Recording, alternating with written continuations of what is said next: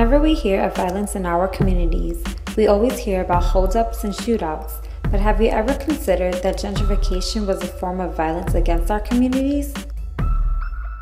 Despite a fire that threatened to stop the event, the Safe Outside the System Collective gathered a number of concerned LGBTQ community members and allies in Brooklyn to talk about the violent effect gentrification, homophobic violence, and even police brutality have on our communities. So today we're doing a summit on gentrification and space violence by the SOS Collective out of the Audre Lorde Project. And the event today is looking at how the impacts of gentrification um, really increased policing and also the types of violence that LGBT, ST, GNC people of color face. Throughout the day, the participants were able to openly express themselves at workshops on safety strategies, panels on gentrification and police brutality, and even a community dinner. Queer and trans youth of color are, there's a large percentage of them as community here in Brooklyn. Um, I also think it's an urban myth that there are not families, LGBTQ, Two Spirit, mm. uh, people of mm -hmm. color, families raising queer and trans youth um, parents who are who identify as queer and trans people of color. So oftentimes when we think about the emphasis of youth of color, sometimes it's this whole other realm of community that doesn't get included inside of that in terms of looking at violence, transphobia, homophobia. Um, how are we looking at the broad spectrum of what, which kinds of youth are here, what kind of political uh, financial, spiritual, physical well-being are all youth looking for. That includes our families, no matter what gender or sexual identity that we have. There are lots of ways to improve the community. And there are lots of needs still within Bed-Stuy. So how do we separate gentrification from kind of like community development?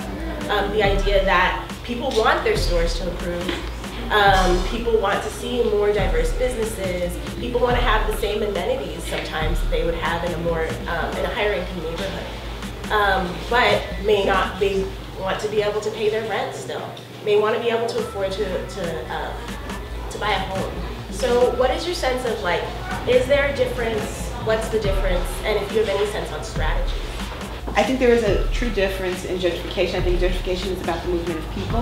I think development is about how we want to shape our space. I think gentrification is a beast unto itself, and it happens because people are pushed from other places, and we start to see the stunning of the tide. Developers of condos and luxury housing discovered the areas. Many whites who years ago would have never set foot in the area began to flock to it. The question is why?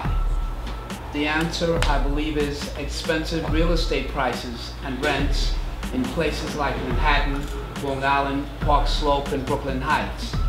Every time someone gets displaced from the neighborhood, the neighborhood loses a resource. And I don't know if um, we've always seen that through an anti-violence lens. So what that means is that we work with businesses and small organizations to uh, train them up in intervening and preventing homophobic and transphobic violence. So, you know, we recruit them, we build a relationship, we follow up and we do a lot of trainings with them around uh, being in charge of their space, right? And of shifting violence. So every time we lose a business, it's not just that, you know, the neighborhood is losing a bodega, it's that we're losing an ally who's been doing really empowering work um, to make the neighborhood safer and is invested in the neighborhood, you know. And then of course, the people who might move in may or may not care about what homophobic and transphobic violence looks like, or may or may not care about maintaining the culture of the neighborhood. So I think events like this are important because it's important for us to see each other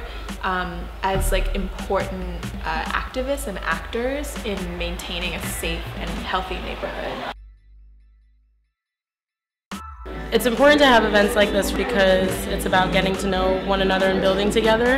Um, and safety is number one priority always. Being that I have been subjected to various uh, mechanisms of gentrification in Manhattan, um, I wanted to take a step to being a responsible uh, neighbor in my neighborhood.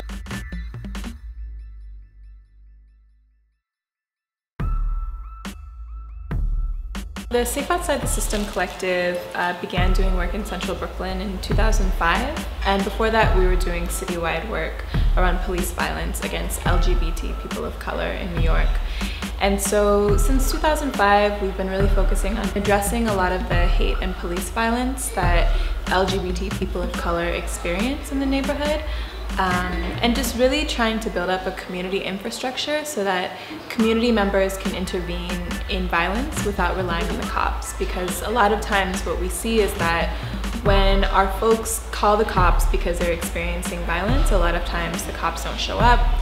Sometimes they show up and make the situation worse. Sometimes the survivor gets arrested. Um, and just really trying to create a community culture where homophobic and transphobic hate violence um, aren't accepted.